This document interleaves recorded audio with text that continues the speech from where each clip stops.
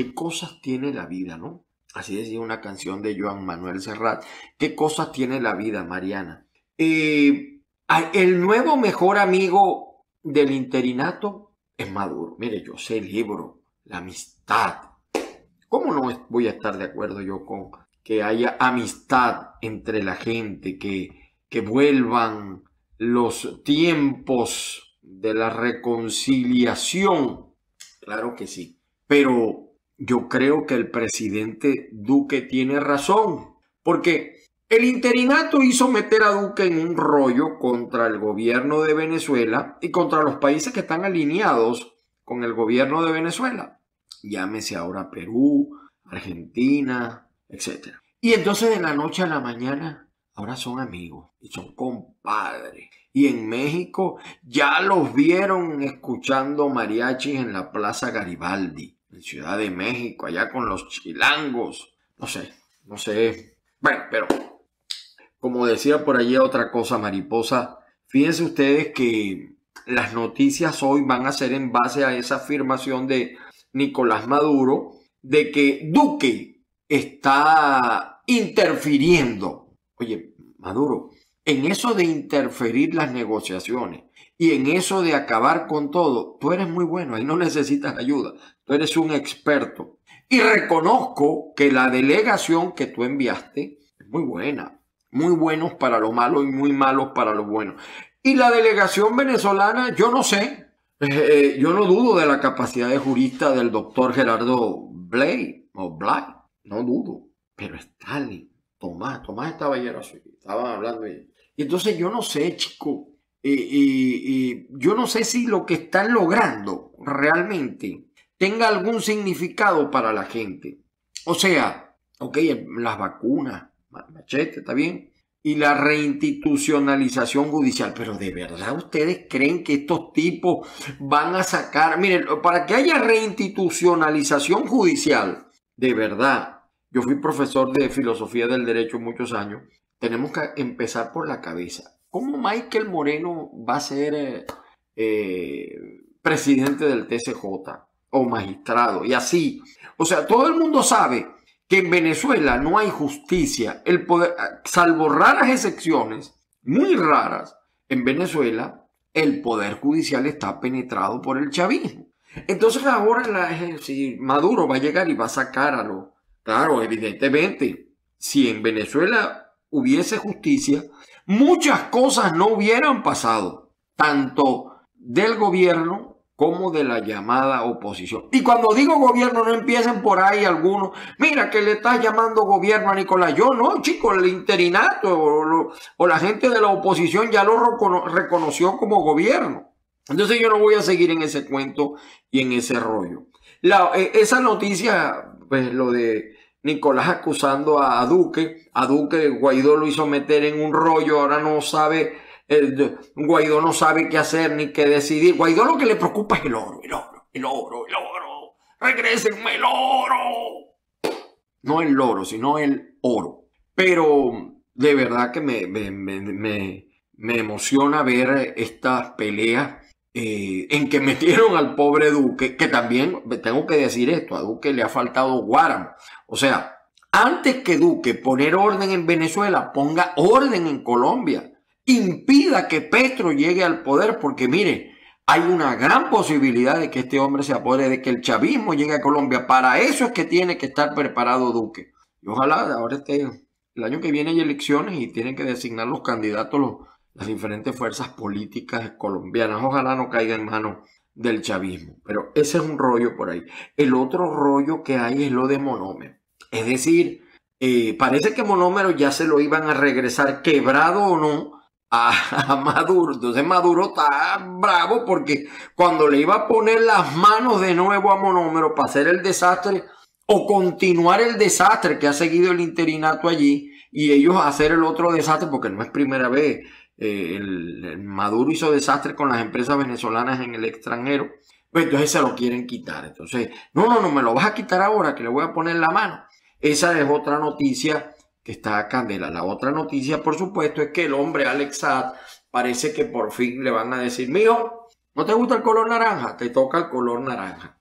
Y bueno, yo no, claro, yo hay que ver para creer, porque un hombre que en una sola cuenta le encontraron más de 7 mil millones de dólares, eso no va a ser fácil, eso no va a ser fácil. Pero ahí, por lo menos ya judicialmente se le agotaron los recursos a Alex Saad, que yo no sabía que era diplomático también venezolano, ¿no? Una cosa extrañísima, extrañísima, extraña. Y bueno, por supuesto, eh, el tema de las elecciones es que, eh, miren, todavía no se sabe.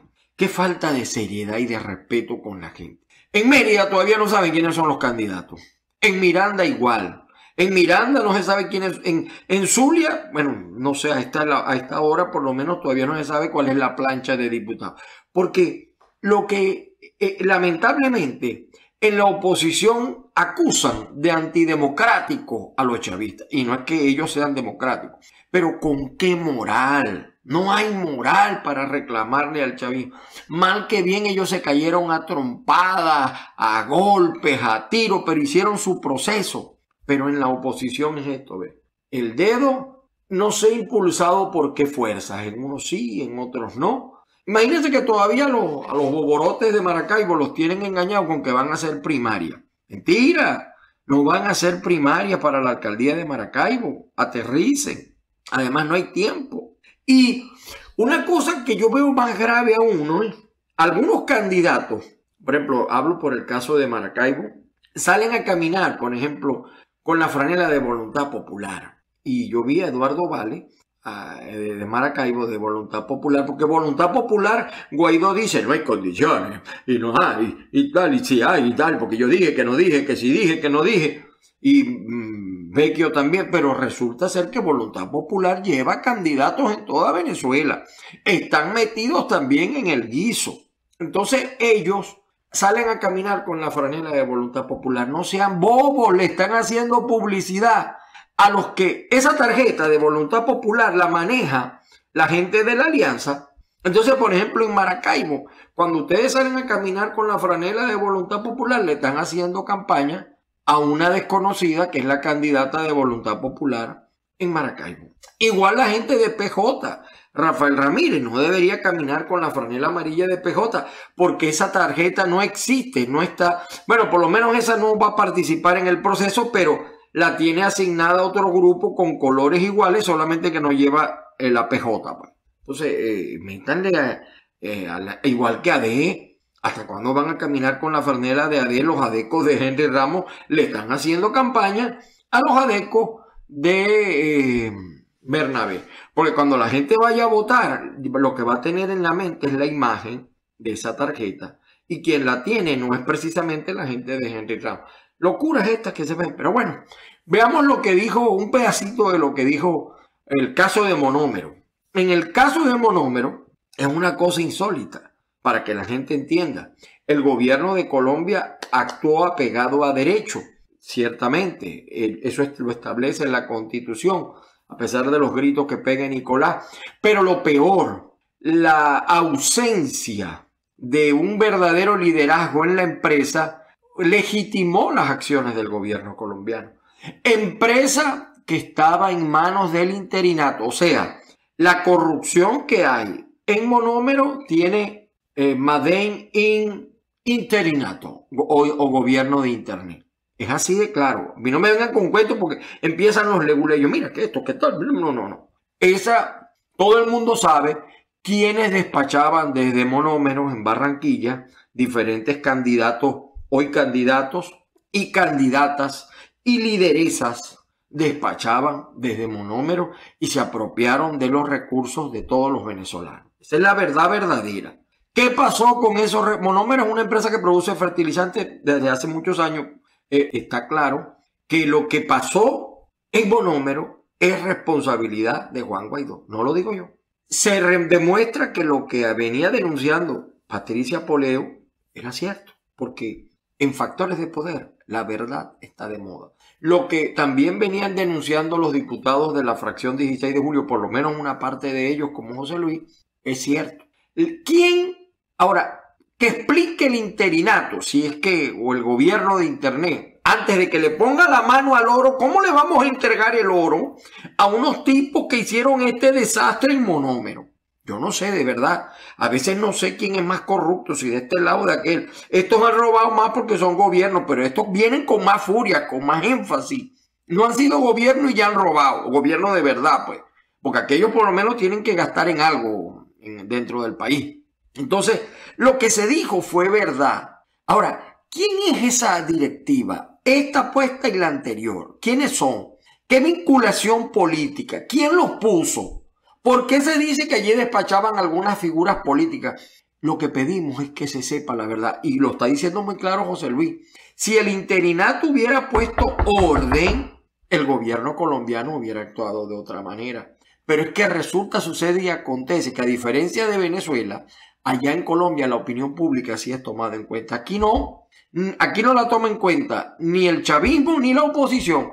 Porque cuando uno denuncia y hace crítica, lo acusan a uno de chavista, de estar financiado, que etcétera. A mí lo que me siente de todo esto que es mentira, porque ¿cómo, cómo pela uno y no precisamente los dientes, ¿no? Entonces, y te, y, te, y te aplican censura en los medios que financia el gobierno de Internet, no te sacan. Esa es la verdad verdadera. ¿En medio de qué estamos los venezolanos?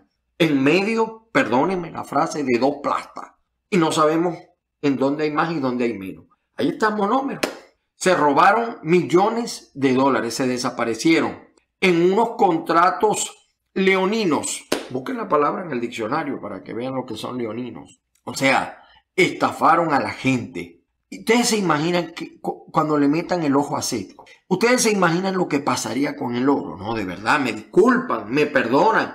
Hay gente honesta en la oposición, claro que sí la hay, pero no son precisamente estos que están al frente del gobierno de Internet. No, no, no, no, no, Dios nos ampare y nos favorezca, de verdad. Entonces, los, entonces fíjense, e, y a mí me están yendo, se Maduro de una vez a defender. O sea, yo pensé que Maduro iba a poner el, dedo en la llaga, como decía mi amigo Aristóteles Soto, a lo que pasó en Monómero. A mí no me vengan con leguleyismo. El amigo Duque, un gobierno amigo de la oposición venezolana. Así será la corrupción que había en Monómero, que tuvieron que intervenirla.